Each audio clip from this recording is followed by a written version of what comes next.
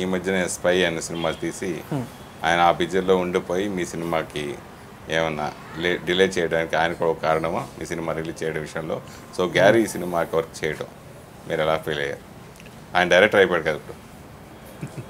అవును sir director editor కాకముందు friend sir బేసిక్గా. ఓకే.